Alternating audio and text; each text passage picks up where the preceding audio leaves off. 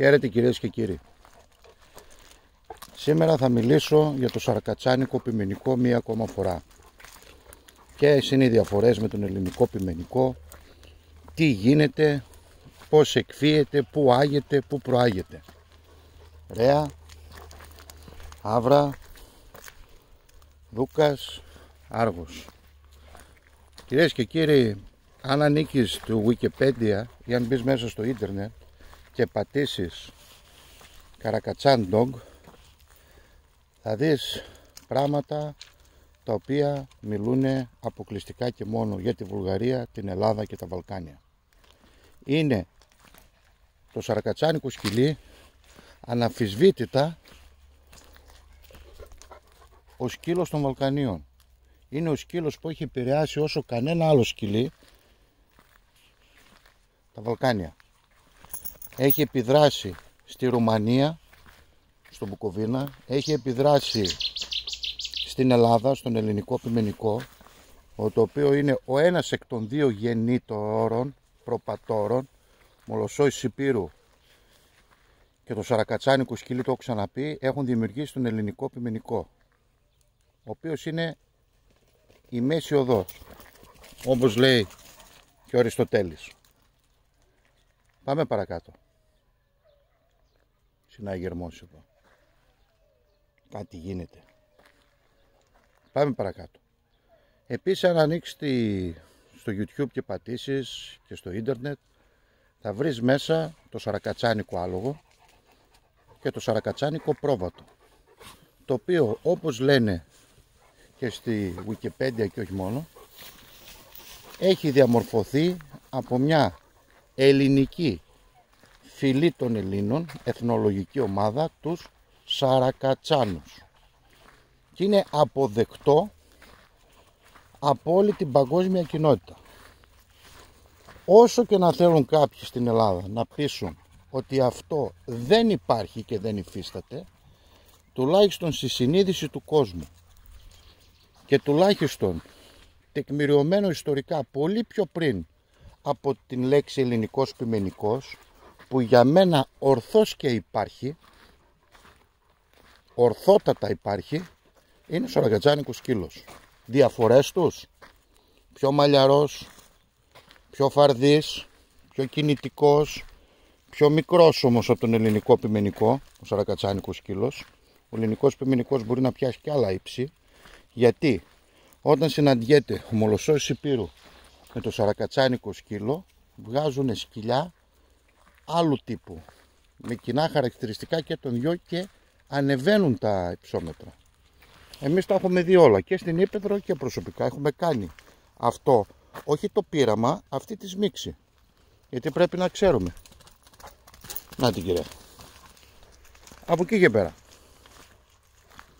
Εφόσον είναι αποδεκτό από την παγκόσμια κοινότητα το θέμα του σαρακατσάνικου αλόγου, του σαρακατσάνικου σκύλου και του σαρακατσάνικου ε, προβάτου, ποιος ο λόγος να μην υπάρχει σαρακατσάνικος σκύλος στην Ελλάδα; Δεν ξέρω ποια συμφέροντα και ποιοι εξυπνάκιδες δεν το θέλουν. Ε. Ναι, τους λέω εξυπνάκιδες.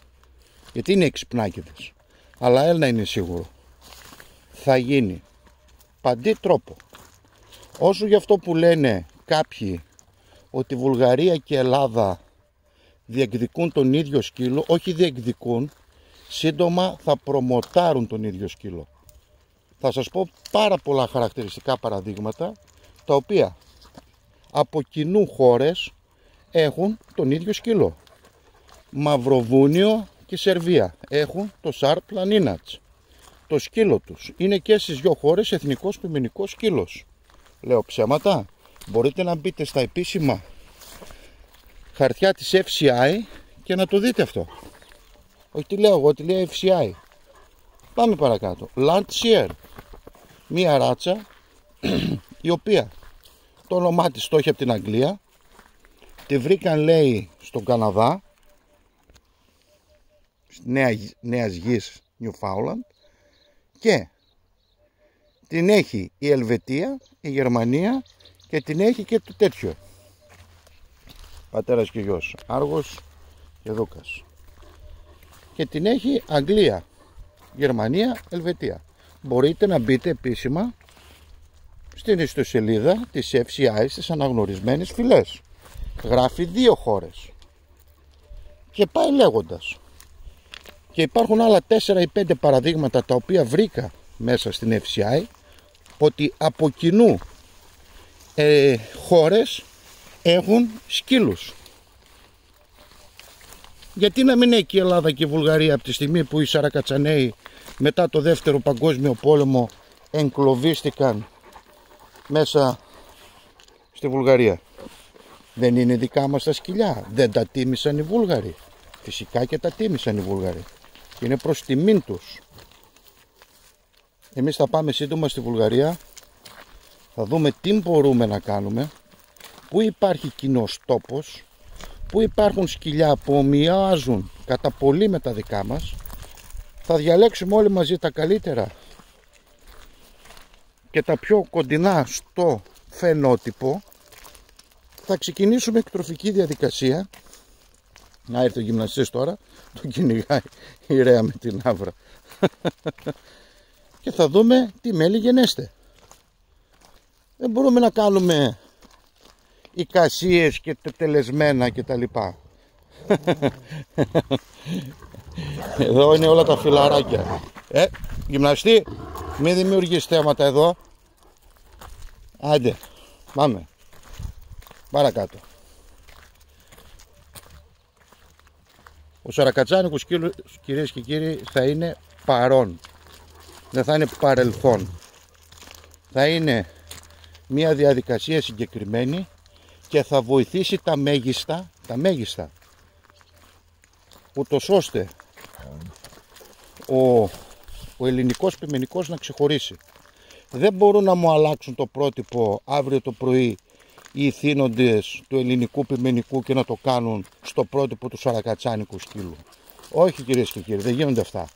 Μόλις βρήκαν τα σκούρα, μόλις δέχθηκαν μέσα στο Πανεπιστήμιο Λάρισας ερώτηση από τον κύριο Κωνσταντίνο Κομνηνό περί σαρακατσάνικου σκύλου, γίναν όλοι μοβ με μπλε βούλες.